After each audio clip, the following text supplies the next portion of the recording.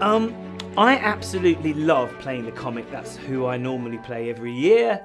But I did have a go at playing the Dame once on a CBeebies panto, and it was great fun to do. Absolute great fun to do. Favourite thing about Christmas is pantomime. I love it because I do it every year. I've been doing it ever since I was seven, so that's a lot of pantos.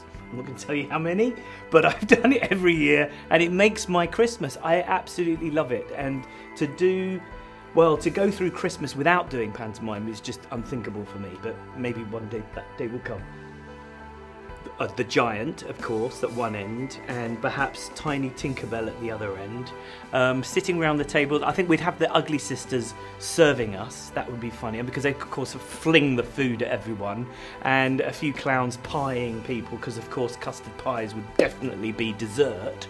But um, amongst the sensible guests, I suppose it would be nice to have all the uh, the pretty princesses, Cinderella, Sleeping Beauty, although she'd probably fall down asleep in her food. But um, yeah, all on one side, and then all the handsome princes on the other side. You know, so they mix it all up a bit. I think it'd be good fun actually.